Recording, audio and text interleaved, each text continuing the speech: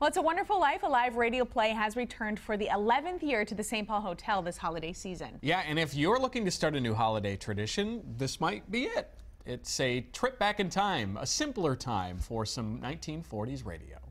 Buffalo gals, won't you come out tonight and dance by the light of the moon? Yeah. Awesome. That's what we should. That's what we should take. That was awesome. That's what we should you take. were rolling, right? Yeah. Yes. yes.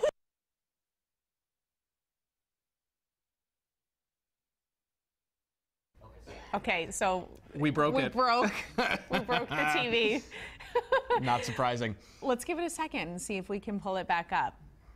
Oh, that's going to be Tell a you what, let's do some weather. We'll do some weather and then we'll try and get it back. That's what we'll do. All right. It's really, really good. So we want to make sure that you get a little preview. the real version is our version not so good.